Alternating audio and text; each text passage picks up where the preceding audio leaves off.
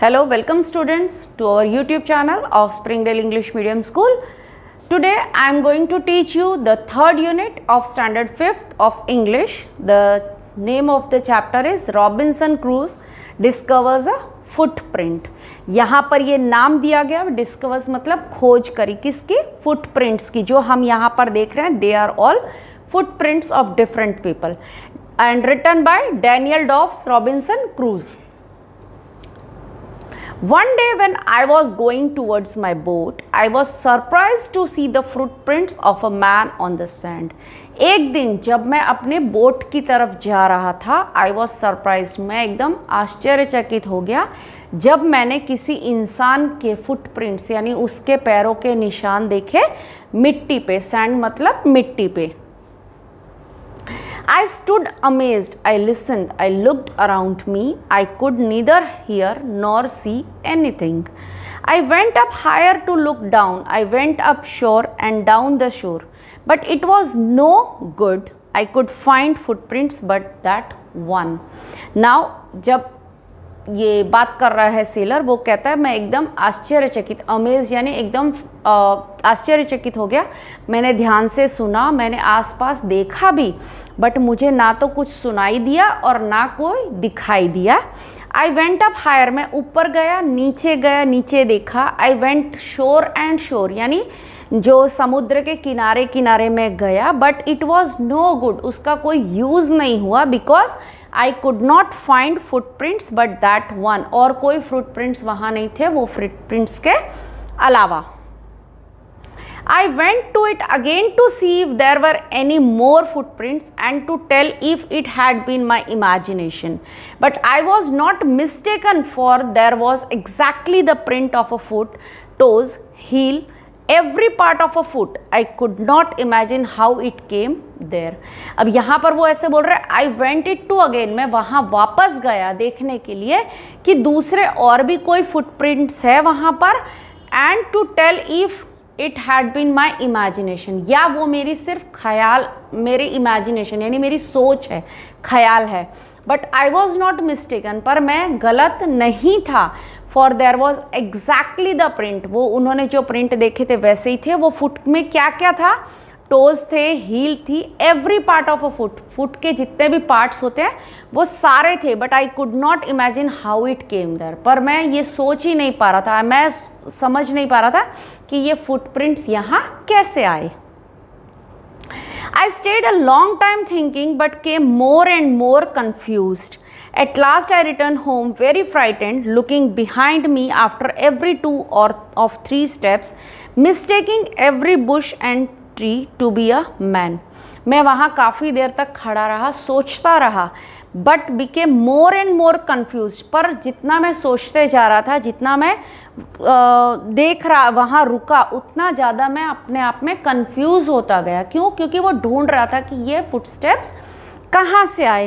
At last जब मैं घर की तरफ़ मुड़ा at last I return home very frightened डरे हुए और looking behind me after every two three steps और हर एक दो, तीन कदम चलने के बाद वो पीछे मुड़कर देखते थे कि कहीं कोई है mistaking every bush and tree bush मतलब छोटे छोटे पौधे जो होते हैं, उसे हम बुश बोलते हैं।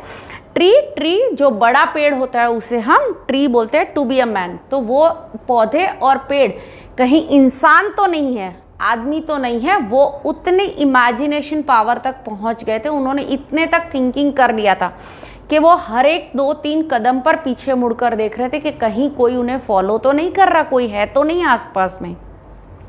When I came to my cave, which I called my castle, I ran in, inside it as if I was being chased. I do not remember whether I used the ladder or went in by the hole in the rock. which I called the door. I ran for over faster than any animal could run.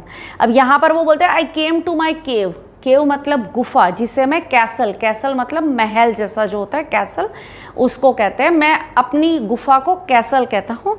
I ran in side में अंदर भाग कर गया और ऐसा लग रहा था जैसे कोई मेरा पीछा कर रहा है। I do not remember whether I use the ladder ladder मतलब सीडी आई यूज़ द लेडर और went in by the hole मुझे याद नहीं कि मैं वो केव तक जाने के लिए मैंने सीडी यूज़ करी थी, या जो मैं पत्थर के बीच में दरवाज़ा था, जिसे मैं रॉक के बीच में जो दरवाज़ा था डोर कहता था, उसके थ्रू मैं अंदर गया, मुझे वो भी पता नहीं है। I ran for over faster than animal any animal could run मैं इतनी स्पीड में दौड़ कर गया, जितनी स्पीड में कोई और जानवर दौड़ नहीं सकता था। I did not sleep that night. The more I thought about what I had seen, the more afraid I became.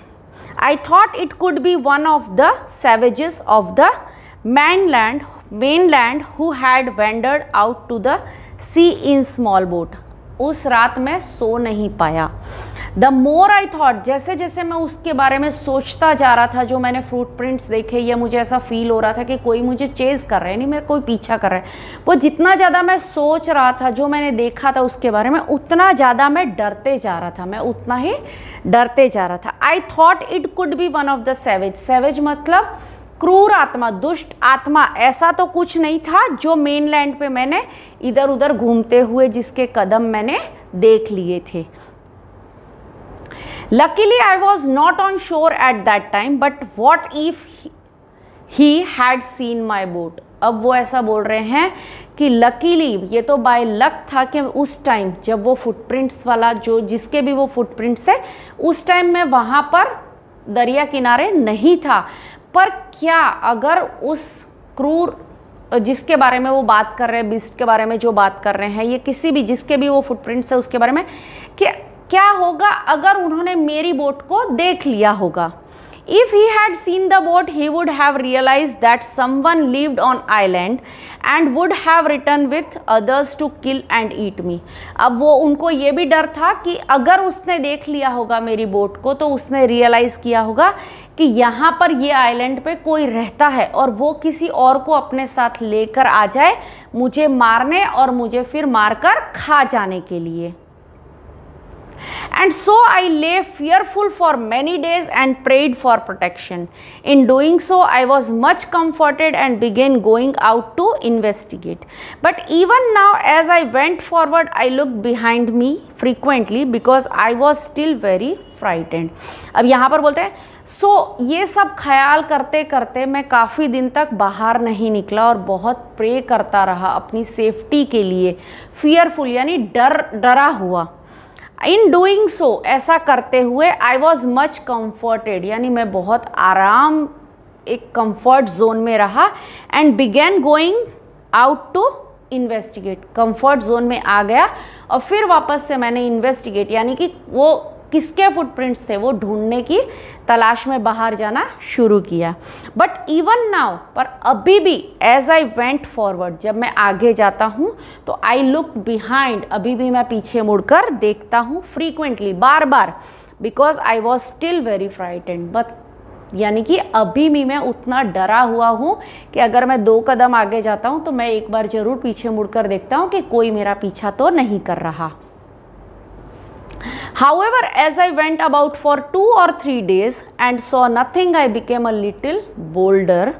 I decided to go down to the shore again and examine footprints once more. I decided to measure it with my own footmarks. Ab, however, as I as I went about for two और three days दो तीन दिन के बाद मैंने जब मैं normal होने लगा तो मेरे में आई बिकेम बोल्डर बोल्डर मतलब अपने डर को भगा दिया बोल्ड हो जाना, हिम्मत दिखानी अपनी।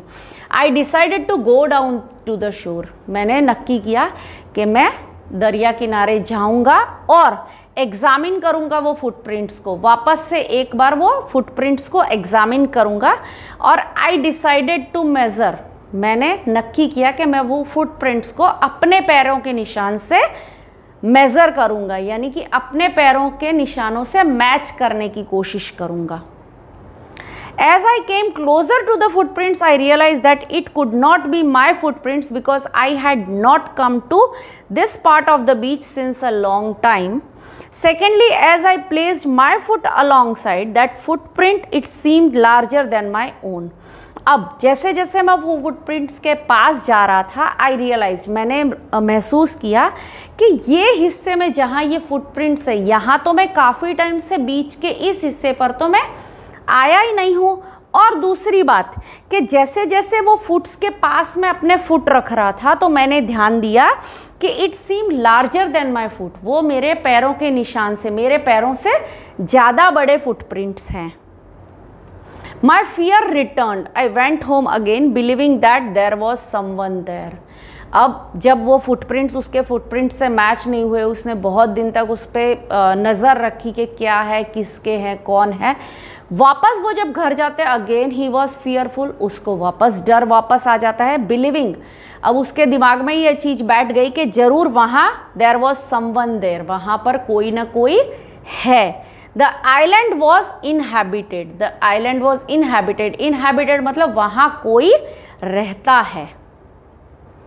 So this was the story यहाँ पर कुछ हार्डवर्ड्स दिए गए हैं जो आपके चैप्टर की रीडिंग के लिए आपके लिए बेनिफिशियल है। It will help you to read the chapter S U R P R I S E D surprised M I S T A K E N mistaken W H E T H E R whether F double O T foot P R I N T print footprint I M A G I N imagine L A double D E R ladder A N Y T H I N G anything C O N F U S E D confuse R E M E M B E R remember F A S T E R faster S O M E O N E someone S A V A G E S savages E X A M I N E examine I N V E S T I G A T E investigate S O M E O N E someone A N I M A L animal P R O T E C T I O N protection